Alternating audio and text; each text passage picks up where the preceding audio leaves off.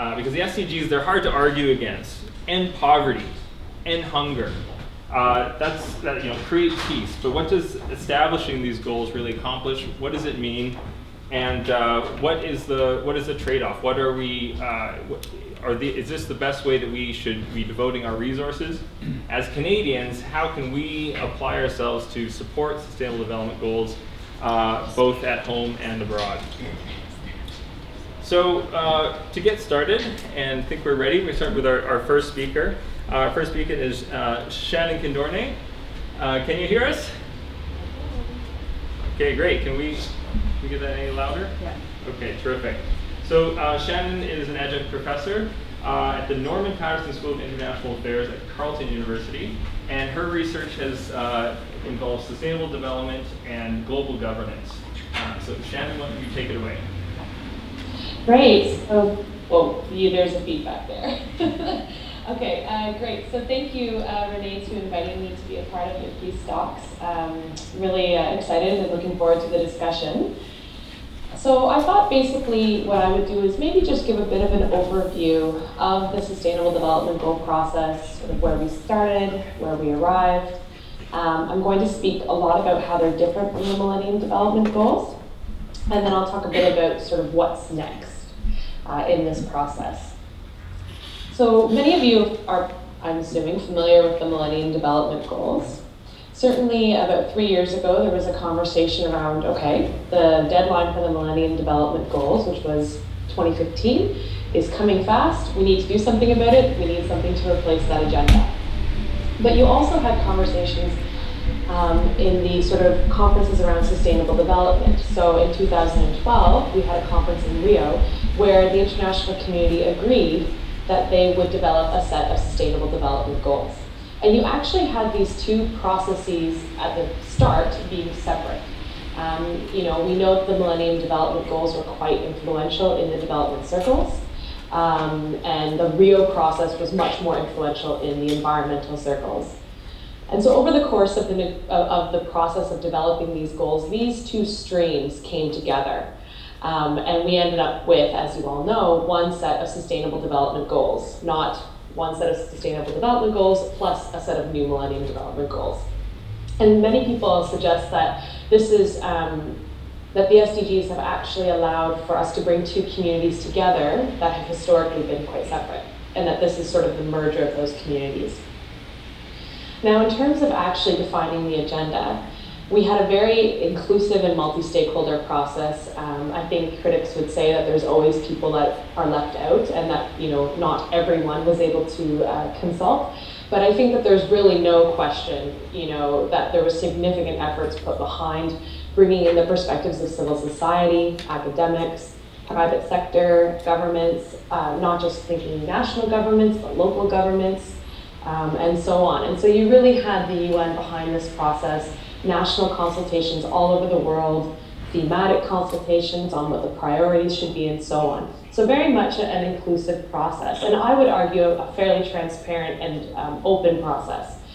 Um, you know, you could watch uh, during the negotiations, one of the groups that was established was an open working group to come up with a proposal for these goals. And you, you could, it was an open process, you could sit in on these meetings, you could uh, watch it on UN TV. Um, so, so I would, I would suggest a, a fairly open process in that sense.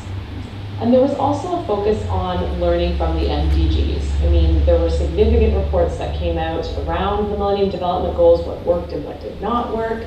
Um, and there was this idea that we should have smart targets and indicators, Peter, um, but we can you know, be critical to the extent to whether or not we ended up with that. Um, so where did we arrive? Um, Peter, I'll just ask you to go right to the next slide on this one, okay. um, which lists the goals. Okay. So we did arrive at 17 goals um, with a significant number of targets.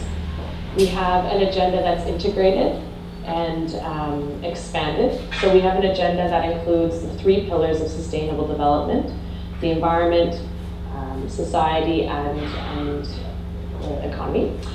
And, and we also have an agenda that um, you know, moves beyond the Millennium Development Goals in the sense that it includes additional uh, areas that weren't included before. And when I say it's an integrated agenda, I also mean that within each of the goals, you also have reference to elements of the three pillars. So for example, in poverty, you have a target around resilience, for example, um, and recognizing sort of climate change impacts. Um, and you, you know, one of my colleagues, you know, worded it this way. He said, you know, you can't talk about one goal without talking about any of the others. And I think that that's a sort of a, a good characterization of the integrated nature of the agenda. I would argue that, you know, at the summit that um, we are short on, for me, concrete commitments. I think that there's a lot of, um, you know, we, have got a very aspirational document, um, but I don't think that we have the commitments on necessarily how we're going to get there. And perhaps we can talk a bit about the, um, the conference on financing for development that happened in July before the Millennium, before the UN summit. Um, but this conference was basically a conference about the how, uh, means of implementation and financing questions. And I would argue that there was also short on commitments. And perhaps we can come back to this in the, uh, the question and answer period for those that are, that are maybe more interested in that topic. And then finally, there was also a commitment around multi-stakeholder implementation.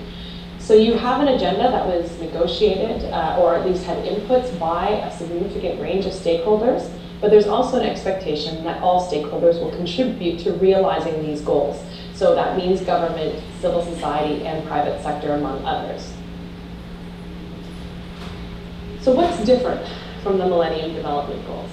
Well, I already mentioned that you've got this integrated and expanded agenda. Um, you know, you saw the list there. You could see that we've got, you know, the Millennium Development type goals, education, for example, gender, um, but we've also got peace and security. Um, you know, we've got to focus on inequality and the economy. Energy is also included, for example. So we really do have, a, you know, this, what some would call an unwieldy agenda.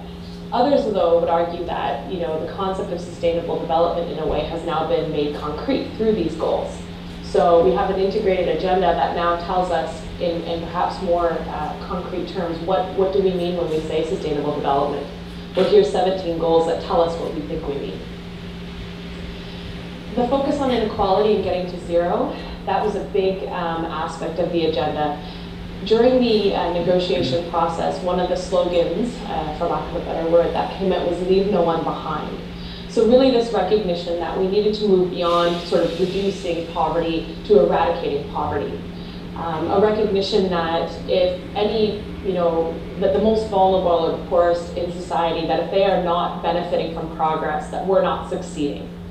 Um, and so this idea that you can't say that the goals have really been achieved or realized unless they've been realized for everyone everywhere.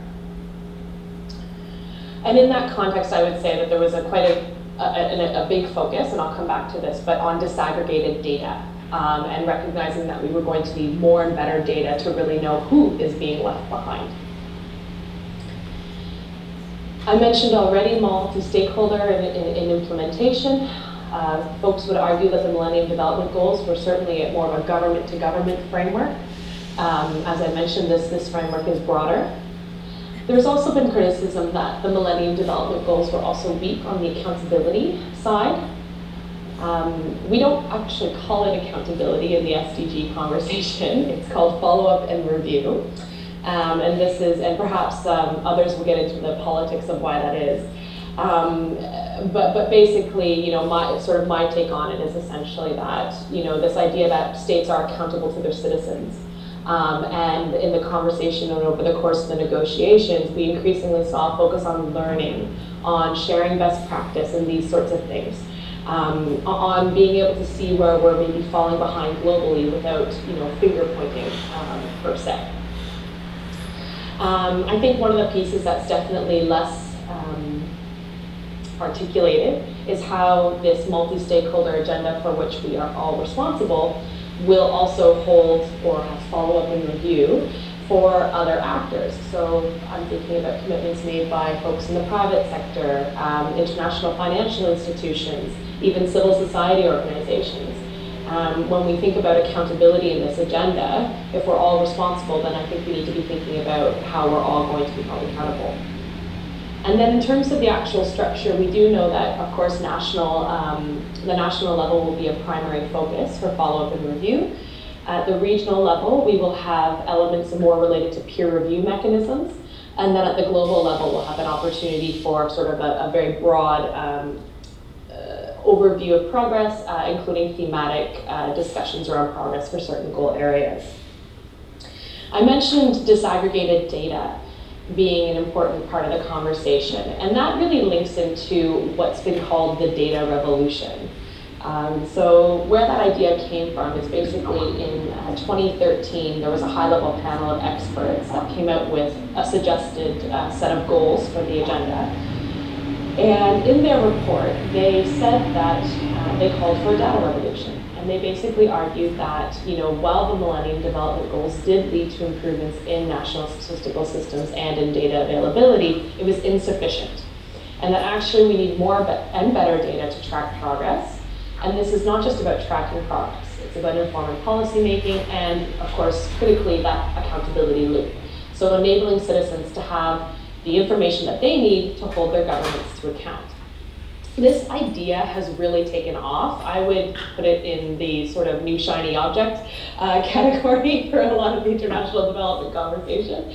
Um, but, but people like it. Um, you know, you've got major funders getting behind it. Um, you've got a new global partnership for sustainable development or sustainable development data has emerged. Um, and so really this is a space I think to watch for those that are very much interested in these questions um, and recognizing that it's not just about uh, official data, it's also a huge conversation around big data and citizen-generated data and so on. So, so definitely a space to watch uh, for those that are interested in sort of those data type questions. The other piece that is um, different for the, uh, for the Millennium, from the Millennium Development Goals is definitely, I would say, the emphasis around national ownership and universality. So you have this set of 17 goals. There's an articulation in the outcome document several times that notes, you know, these will be implemented in accordance with country priorities. Um, you know, and, and just sort of a recognition that this agenda needs to be adopted and translated to the country level. And I think this, you know, given the fact that we have a universal agenda that applies to all countries, this obviously makes sense. Now, what is, when we say we have a universal agenda, what does that really mean? And how is that different from the Millennium Development Goals?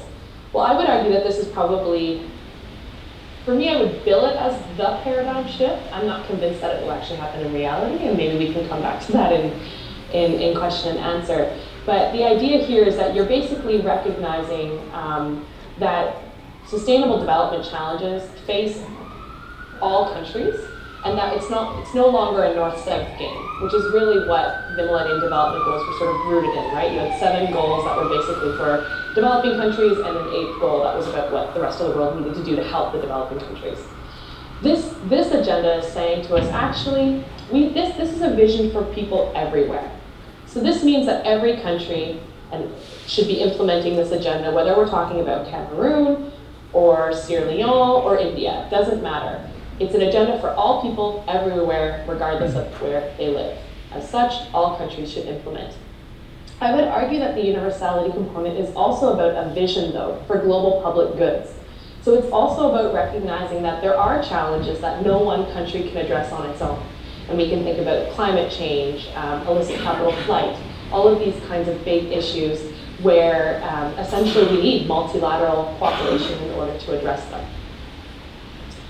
You also have, um, and I would argue the other piece of universality in a way combines those two things. So if we recognize that we have an agenda that's for all people everywhere, and we also recognize that there are things that, that, that there are global public goods and things that, you know, um, issues that countries may need help to address, then it also, I think, articulates an, an agenda that recognizes the responsibilities that the international community has to enable the realization of these goals for all people everywhere.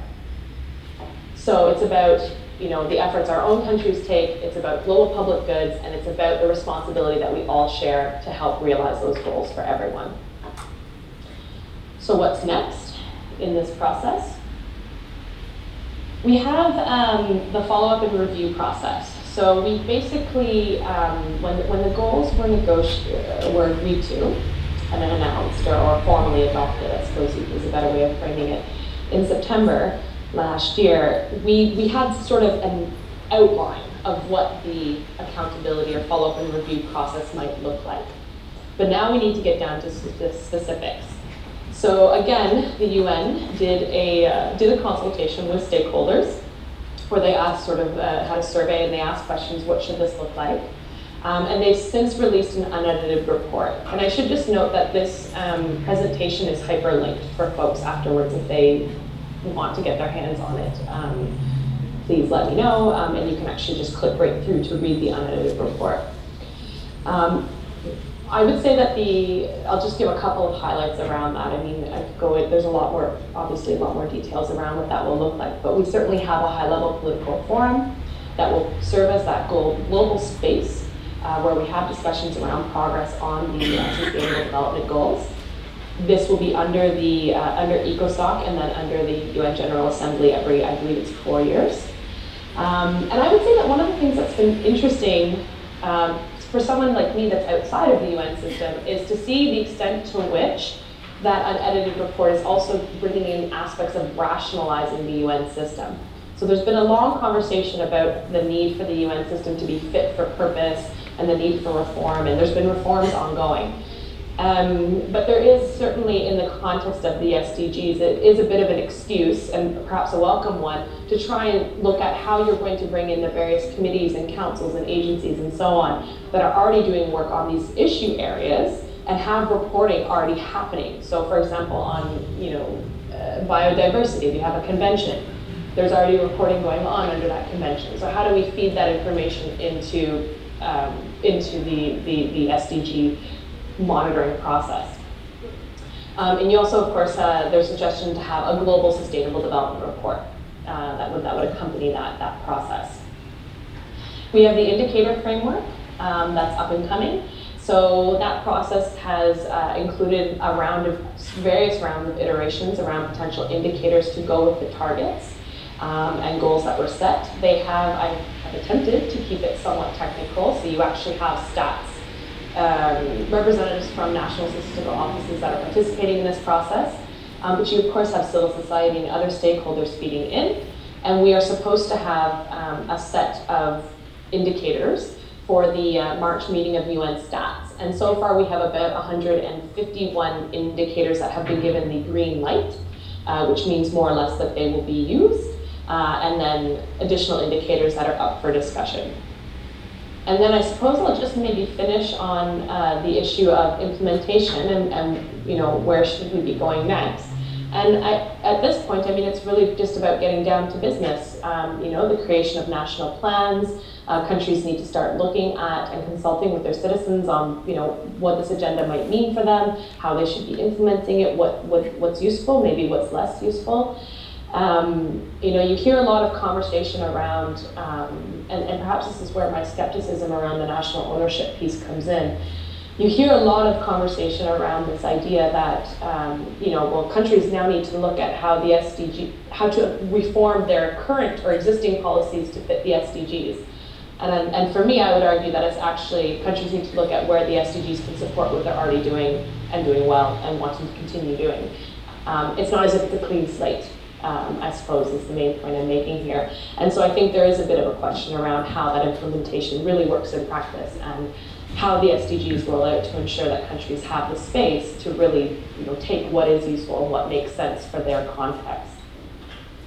And I guess I'll just end on, um, you know, the, on the, the note that Mike will maybe be bringing up around Canada and just maybe to emphasize that you know there has been a lot of work in Canada already by civil society organizations on this agenda and really trying to raise awareness as to why this agenda matters for us. And we have a new government in this country that has included the SDGs in the mandate letter of our development minister. Not uh, you know thinking of a universal agenda, it's clearly still sitting on the foreign policy side, but there's clearly better entry points um, for us to make use of this agenda as, as an agenda not just for the world, but also for Canada. And we have a government that's open to that. Okay, great. Thank you so much. Okay, so um, I wonder if we need to, uh, do we need to do anything to the Skype? Should be, he's on? Okay, great. So uh, thanks, Shannon, so much. That really uh, sets the groundwork uh, very well, gives us a good overview of, of what we're talking about here. Um, and uh, so I think we're going to save questions to the end uh, of, of, all three presentations. Uh, now that we've set the ground floor of what the SDGs are, how they've transitioned from the Millennium Development Goals, um, we are going to hear from Nick Soni. Nick, Nick, can you hear us? Yes, I can. can okay. Terrific. Yes, and you're coming to us from Timor-Leste, is that right? That's correct. Yes. That's correct. All the way around the world into the hive. Uh, so thank you for joining us here. Uh, Nick is the board chair of the Pacific Institute of Public Policy, uh, which he co-founded in 2007. So he has worked extensively on economic and public financial management issues across the Pacific since 1996. And Nick has a really interesting perspective in that he's worked both for civil society uh, as well as governments on issues concerning uh, sustainable development and SDGs. Uh, and he's going to provide us uh, with that perspective and, and the perspective from uh, working in the Pacific region. Uh, so without further ado, here's Nick. Hi, good morning everyone, and thanks for inviting me for this talk. Very exciting. Um, just at the outset, I'd like to say that whatever I say is not the views of any government that I work for, or even necessarily the NGO, um, because what I'm going to try and give you is um, a feel for what's uh, what's happening on the ground, like how these uh, goals, etc., what they, what I understand they mean to people in developing countries, and in particular in the countries in which I work, and some of the areas that I specialize in in terms of fragile states and conflict-affected states. Um, so just so they get an idea of uh, what these countries were hoping would come out of this SDG process.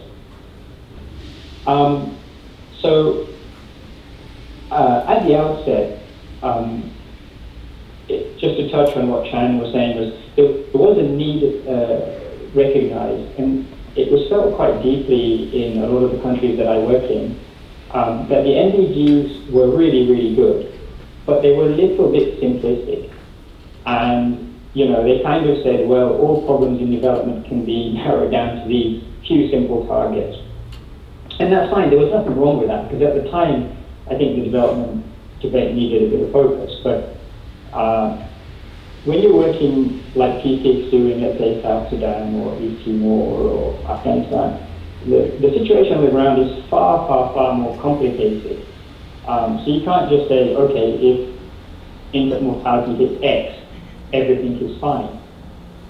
And there was another problem as well, um, which was that for a lot of the, the countries that were coming out of um, civil conflict, it's almost impossible to meet those targets, those MDG targets. So as an example, in a lot of the countries I work in, if you take something like maternal mortality, you could see after the conflict was over, a rapid improvement in that indicator.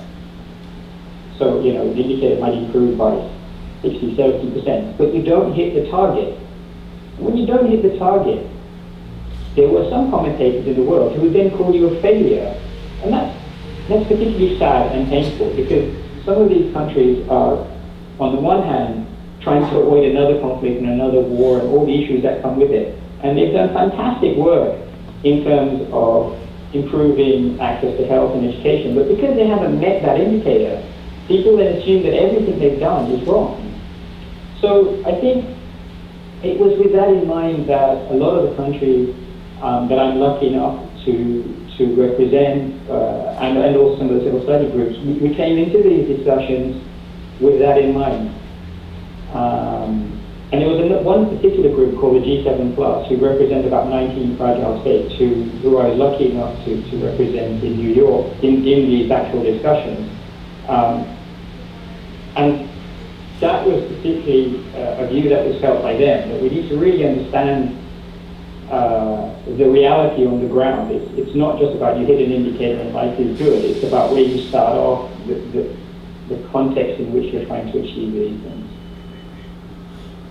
So that's why, you know, some people say, well, the SDG, uh, you know, might, might not be a success because they're big complicated. Whereas from, from, from the point of view of the country that I work in, actually they are a success because we're now beginning to really look at um, uh, the problem in, in, in, in some more detail with some more understanding, as, as I think Shannon was saying earlier. However, having said that, you know, and the other point to make is that um, when, when the debate on MDGs was opened up, we were all a bit nervous because, again, when you're in New York, you have to understand that a lot of these companies are very poor, and they maybe have just one person in that room. You're then up against, let's say, the United States or Canada, who have teams of hundreds of people. And what's happening is there are like 10, 20 meetings going on simultaneously, and they're all important. And, and, and the developed countries can't be there. They literally can't physically be there. Um, and so there, was a little bit of, we were all a little bit scared going, oh, if we open this up, we're going to get hammered because, you know, suddenly these, these really rich and powerful countries are going to put their air agenda down. Because it's, we just don't have the resources to, to, to negotiate with them, we're going to get overruled.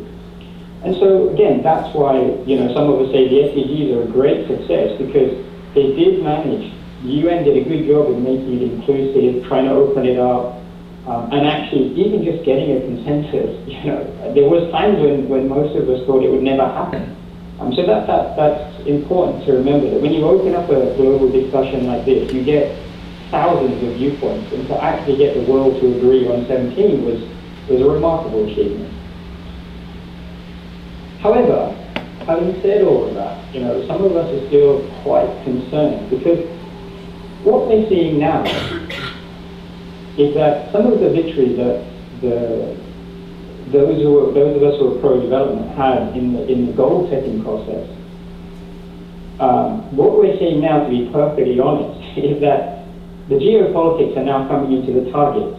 What we're finding is that some of those really, really hard-fought victories um, for everything, ranging from environmental targets to targets on peace and stability, the very arguments that we were having in the goals. What, what's happening is that some of the countries that perhaps felt that they didn't get what they wanted from the goals, they're now trying to get what they want through the back door, which is the targets and indicators.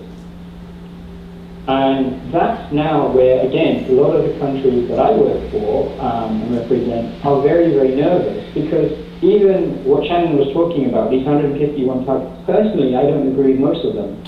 Um, but you know, there's a real fear now that actually, if you look at the targets, they very, very, little relationship to the goals. And so a lot of countries that I work in are pretty nervous about this because, again, going back to the point that Shannon made, the whole point was we have some high-level aspirational goals, but in terms of what we're doing on the ground, that should come from the countries themselves. They should be coming up with their own targets and indicators as to how they're going to meet those goals. It shouldn't be top-down there should be a bit of bottom up in this.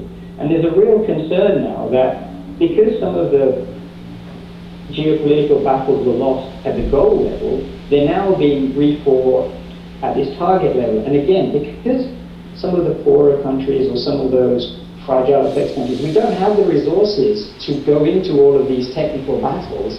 It's kind of happening so fast without us that where there's a risk that, um, you know, Go they're going to be held accountable to targets that really don't represent what we were all hoping would be the intention of the um, uh, of the goals. And that's why a lot of us uh, in the countries are saying, look, maybe that we should then focus on the country level indicator, uh, the country level indicators, and make sure that they at least are, are reflective of what the countries themselves want. Um, the other concern that we have in, in the countries, again, that I work in, and this touches on what Shannon was saying about the data revolution, that's all fine, but in most countries I work in, we have no data. So there's a real concern that if you ask for super disaggregated data, certainly most of the countries I work on will fail instantly because we just don't have the capacity to collect data. That's where things like Tiki come in, because with modern technology and ICT, and with proper investment in these things, then you can collect that data. I'm just saying that the reality on the ground is that it's not being collected. And so again, there's, is concerned because what was happening with the MDGs and with other sort of these global indicators that people like the World Bank and the IMF come up with, and, and what maybe some of you or your, your participants in the debate don't know, is that the data behind them is essentially fictional, pretty much entirely fictional. So what they'll do is they'll say, oh, well, we couldn't get the data, so we asked an NGO to do a perception survey. And that might be like three mates of the guy who ran the NGO. And it will usually reflect the political bias of that NGO. And so what you get is you get you can get countries being completely vilified in the developing agenda for something they didn't do, but data that's three or four years out of date that was based on the perception of you know a particular thing. And so there is a bit of risk with this, um, with, with, with the way some of, some of these um, uh, targets are, are being developed. And, and, again, that's one of the real fears that we have in the, in, in the developing world and certainly in the countries that I represented. It's one of the big challenges we're going to now have uh, the, going into the discussion that Shannon was talking about in between March and June. So in terms of what next, um, for a lot of the developing countries, those who still have the stamina to continue this battle, because most of us don't have the resources or the stamina to do this, um, it would be to try and focus uh, a bit on this period between March and June, many of which the discussions will be in New York. And once again, sadly, they won't have the people there. Um, so they'll be reliant on a few individuals and a lot of very dedicated hard work by people running around between the corridors in the United Nations.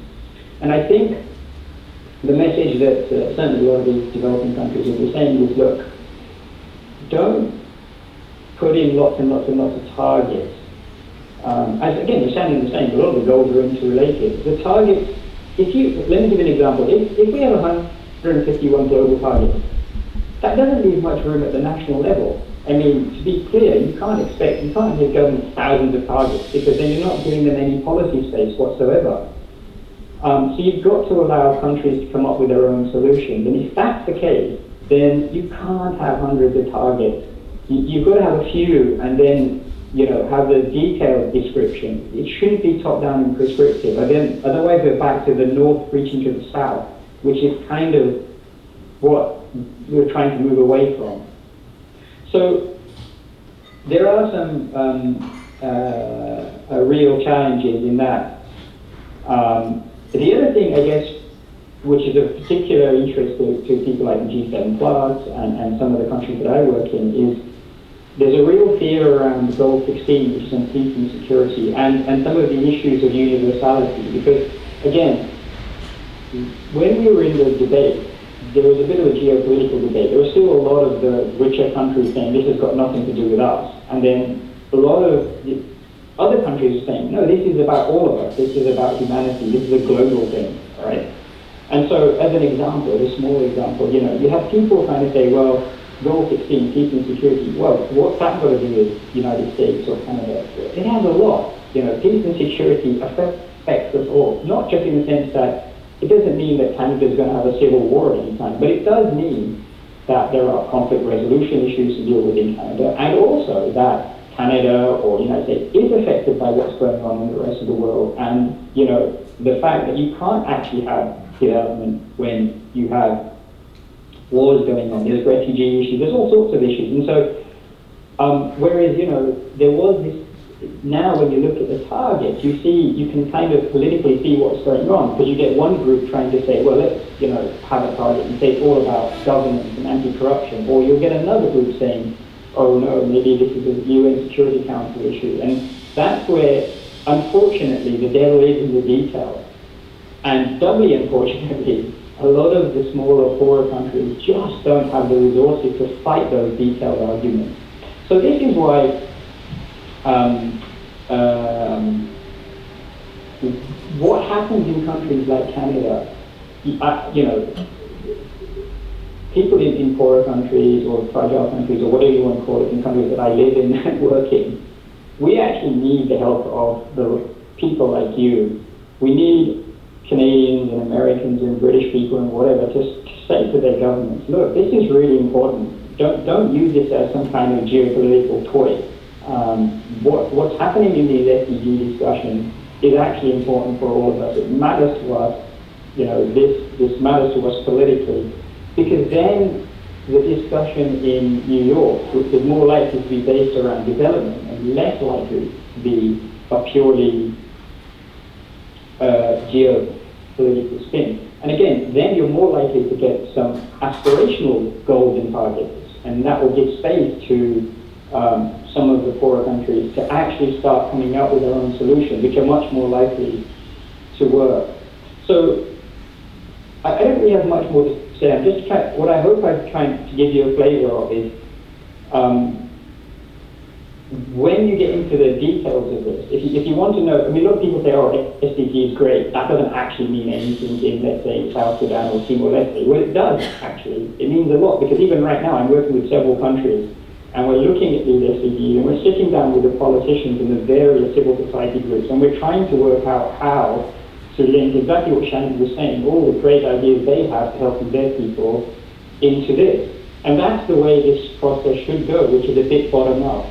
Um, but there's always a risk that if it becomes too, you know, uh, complicated and detailed at the top, it becomes top down. Anyway, I don't have much else to say, so let's see what uh, if we have any questions on that. Thank you very much. Okay, thank you. Okay, so uh, now we've had a, a, really interesting perspective about uh, so at the applied level, uh, some of the pitfalls that we can encounter in in uh, looking at the SDGs. Um, I'd like to bring it uh, right back home to Canada by introducing uh, Mike Simpson. And uh, Mike Simpson is Executive Director for the BC uh, Council for International Cooperation. And prior to working for the BCCIC, Michael was the Executive Director of One Sky, uh, the Canadian Institute for Sustainable Living. And uh, yeah, take it away, Mike. Do you mind if I stand? I just like to be able to see people at the back. So uh, i was asked to uh, tackle what's going on in Canada, and then inevitably I'm going to actually talk about the sort of psychosocial dimensions of this whole SDG question because I think that's what my own experience has sort of led me towards.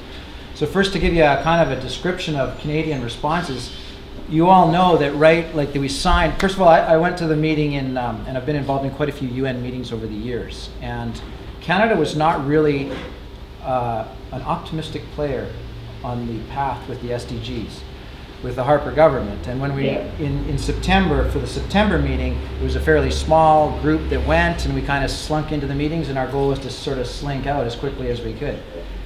And then they, they were signed off in September and they come into effect in January. And in the middle of all that, we had an election and we had a complete turnaround in the government. So there, the big question then is, well, what is the new government thinking? Because we could spend all day talking about the previous government we kind of know that they weren't really big multilateral players and they weren't particularly popular on some of the positions that they took. So, for example, you see that the, the idea of universality, the idea that what's going on with some of these issues like poverty in your own country, is something the entire world agreed to.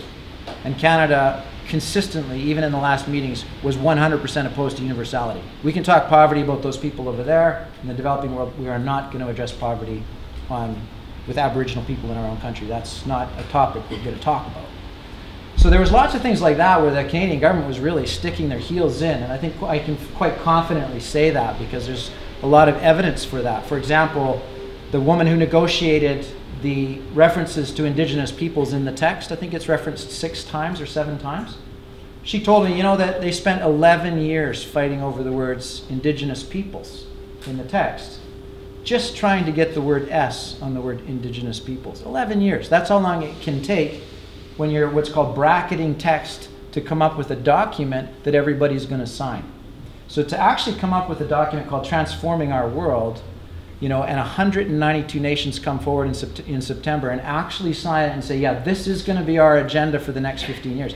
That in itself is a, an unbelievable miracle that they do sign it. So you can imagine the Canadian government, they don't agree with universality, but we're going to sign on and we're going to agree politically, internationally anyway. So the Harper government did that, but they weren't too happy about a lot of this stuff. Then the big question is, well, what's Trudeau and what are the Liberals thinking, and where does that position us? Because Canadian civil society was quite adamant throughout all these negotiations that we should be supporting concepts like universality and concepts like the aspirational nature of the document and so on, which I'll touch on in a minute. So the big, so I went to I went to the one in, in New York with a, a delegation of Canadians. It was fairly well attended. And then the question, well, what's going to happen in Paris? Because Paris, you need to understand, we signed on to all 17 of these goals, but they couldn't really touch climate change because in the document they said, you know, climate change belongs to the to you know the UNFCCC, and that's going to be negotiated in December. So they put in some vague wording for the for chapter 13 or goal 13, pardon me, which sort of said we're going to reduce impacts on climate change, urgent action on climate change. I think is the quote, but they left the words out. So the big question then is, well, we could sort of measure where is Canada going to be in our enthusiasm as we go to the Paris discussion, and that's where it's kind of encouraging in terms of what's happening in Canada because we sent one of the largest delegations, 342 people went. McKenna, who is the environment minister, went way out on a limb and uh, early on in the negotiations agreed to what we call 1.5 degrees of climate change. She, she, she agreed to 2 degrees very quickly, but there was civil society and everybody was there going 1.5, 1.5, we need to get this down to 1.5. And she said, okay, 1.5. And that became Canada's official position, like that. And it was kind of fun because we were all in the room and there's this press conference going on and, and people are going, well, we don't know if that's our policy or not. Elizabeth May stands up and goes, no, McKenna said that yesterday in a meeting. And then instantly, within minutes, people were twittering, this is now Canada's official policy. We're in favor of 1.5. And that's how it happens at these meetings. So what's good is you can see very quickly Canada is shifting, shifting, shifting fast. And the question is in civil society whether we can even keep up to these guys right now because they immediately announced 2.65 billion towards climate change. That's way ahead of anybody that anybody uh, even imagined. And last week in Ottawa, I was sitting down with the head negotiator for the SDGs. Vincent, Vincent Rigby's the head negotiator, right, Shannon? Yeah, I was worried about that, that, that I got the title. I know he was the head of delegation, but I don't know if he's the head negotiator. Anyway, he was kind of going over some of these things, and he said, wow, that 2.65 billion, that happened really fast too. So things are really shifting quickly in Canada in terms of the landscape, and this opens up a huge opportunity for you as people that are interested and involved in the SDGs. So I'm going to make one assumption real quick, uh, and that's that you all understood and knew what the SDGs were before you came here and you have an interest in it. So it's not like I have to convince you that the SDGs are a good thing, right? But what I wanted to address tonight is what I'm noticing in the developed world particularly in Canada, because we've been doing a lot of outreach, public engagement with the councils. So in Canada, we're organized in civil society that we have councils in every province and region. And so there's eight provincial councils and regional councils, and then there's a national council called the Canadian Council for International Cooperation. And this whole agenda of the SDGs is kind of complicated because international cooperation has traditionally meant that we're going to go out and help those people over there in poor countries with our development agenda, et cetera. And we've gone through 40 or 50 years of negotiation, and that's changed from charity to partnership to partage. And you're seeing the most recent ideas on that are more around solidarity, that we're all together trying to fight the same problems. And we've identified about 20 global issues. Climate change is a good example that don't really belong in the developing world. They're shared by everybody, right? And that's where you get into this universal question about, well, how are we going to tackle these together? I had a thought that where was I before that? Somebody remind me. Korean's really good at that. I was just on. How are people engaged? Citizens of Canada. Thank you, Citizens of Canada. Yeah. So yeah, with the, the councils. So the whole point is that the councils have gone out and they've tried to engage Canadians on sustainable development, like producing calendars and get people to take pay attention to this subject. It's a big one, right? And this is where I wanted to check in with you because what happens? Some you mentioned smart goals, right? Time bound. What's so interesting about this particular said if you've been around long enough, and I've been in this business for 30 years, you see these things come and go, like Millennium Development Goals. The, like the Rio was happened in 1992, and we set a 21 point agenda, and we were going to achieve sustainable development by the year 2000. And people like David Suzuki stood up and he said, It's the turnaround decade. If we don't turn it around in the 1990s, we're doomed.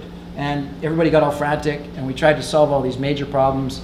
And the year 2000 came around, and we never solved them we went to the WSSD and everybody met and they said, we need to really shift this in the next 15 years and we set the Millennium Development Goals. So we need to have poverty and so on. We always had these kind of goals that we were trying to achieve. But if you read this text, and this is kind of the crux of this whole point that I want to make tonight, is that there's some sentences in there that we have never agreed upon on the planet and they're really important. The one that stands out for me is there's a sentence in the text and it says, This is the last, or this is the first generation that has a chance at ending poverty. And it is the last generation that has a chance at saving the planet. Now you get, now think about that. 192 people get together and say that to your generation.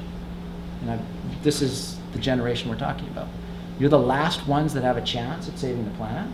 So you got 192 people coming together, and they're about to meet in in on, in Paris, and they put that burden on your shoulders, which is maybe you could solve poverty in this generation, but more importantly, this is the first generation that has a time-bound agenda, a time-bound agenda.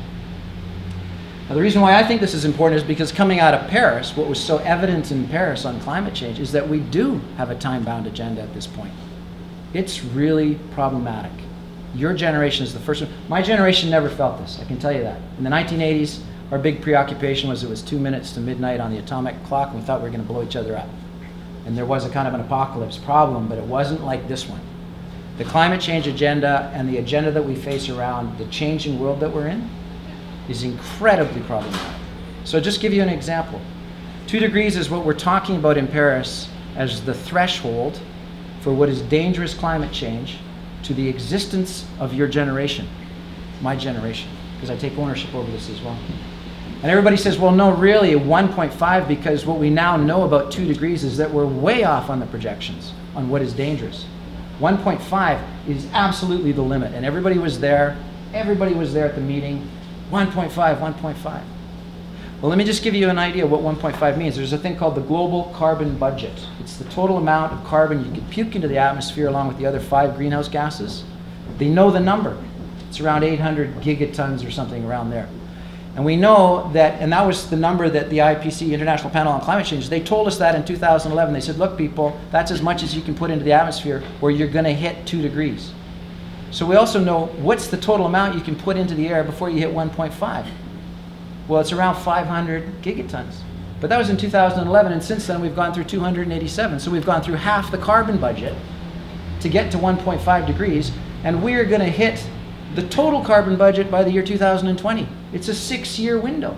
Now the carbon, the whole, the whole agreement that we're signing doesn't even come into effect until 2020. So you're signing a document, an aspirational document, saying, yeah, we need to get this down to 1.5 degrees, but it's a done deal by 2020. It's a done deal on two degrees. Already people are saying it's a done deal. All right? So that's a problem. You see the problem? So now you sign up for a document, the SDGs, and the first thing it says is we're going to pull, we're going to end poverty for everybody, everywhere, in all of its forms, and we're going to do it in 15 years. So here's my polling question Does anybody in this room believe that? Can anybody put their hand up in this room and say, yeah, that can be done? Nobody. Can anybody willing to say it's definitely not going to happen? Or you just don't have hands? My answer is always yes, but not with businesses. okay, so you're a believer still. Good. It's not going to happen. It's not going to happen. Let's do a quick poll. How many say it, it, it could happen if we, there's still a possibility? Throw your hand up. I, oh, beautiful. Great. How many say it's definitely not going to happen? Okay. Okay, let's just try climate change. Urgent impact on climate change. How many do you how many of you believe we could get that 1.5 that we're talking about? When McKenna stands up and says we can do 1.5. What it means is you have to turn every single car off, every single military plane has to stop, every single airplane has to get out of the sky, every single person has to stop emitting carbon. That's not talking about methane leaks, which are now 90% higher than we think, right? I mean, that's what was announced in Paris. The estimates on carbon on methane leaks, which are 80 times more powerful, car, you know, ground for ground than carbon. What are we going to do about that? So you just quick poll: How many of you think we could solve the 1.5 degree question? How many think you can't solve it? Yeah, and this is a problem, right? This is one of the problems with the SDGs. Is it's a it's a psychosocial problem. If we don't believe in the agenda, if we don't even think it's possible, how can we get behind it? And that's where what I want to pull out for you is just my own. Have I got enough time here? Am I doing okay? Yeah. I want to just pull out a, a concept which is called resilience. And I don't want you to think of resilience in terms of its physical dimensions, which is how we normally measure resilience. So you go to a culture or another place and you say, ah, it's not very resilient because they don't have this, that, and the other thing. Resilience, by the way, the, the definition of resilience is basically a resilient system or society is one in which you could pull parts out, you could take parts out of the system, lots of parts, and a really resilient one is one that can take a lot of damage. A, a- a non-resilient system or society is one where if you just hit it with one little thing, the whole thing falls apart. So in ecosystems, if you have a very biodiverse ecosystem, it's very resilient because if you knock just one animal species out, the whole thing will keep going. But if you have just a monoculture and you knock out, or if you knock out most of the forest species and you have no more biodiversity left, if you knock out one major species, the whole thing collapses. So resilience can be applied to our thinking as well, right? And this is where what I'd like to do is just share with you. I spent a lot of time in some hard, technically, physically hard places. I worked in Sierra Leone for a long time, Niger Delta. Sierra Leone, if you look at the quality of life, it's the lowest, it's the bottom of the pack, always tends to be. And I used to work in Kono, which in Sierra Leone was considered the worst spot in Sierra Leone. And the one thing I've learned about these places that, is that physically they don't look resilient. But the people that have been through very hard times, through very difficult situations, are incredibly resilient. And they don't buy into the despair concept or the giving up concept because they understand that life doesn't work that way. There's chance, there's all sorts of other factors that we have to pull into our psychosocial way of approaching the SDGs. Because we have too many people walking around going, this is a ridiculous agenda, saying this is an impossible agenda. These indicators are too big or too wrong or whatever. And, and what we need more of, in my opinion, is to concentrate on, and you're not going to believe I'm going to quote Dick Cheney. This is like the weirdest thing to quote, right? But I actually admire the guy because he stood up at one point and he said, look, and they were kind of, they'd obviously been brief, but he said there's this thing called the unknown unknowns, which maybe you've heard of. The idea here is that there's these, we know what we don't know. And I've, this is crazy that I'm quoting him. But he said, but we, what's really interesting is what we don't know that we don't know.